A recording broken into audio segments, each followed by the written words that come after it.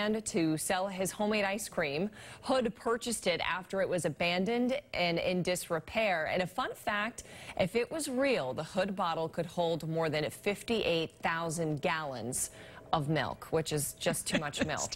no one needs that much. Nobody needs that much.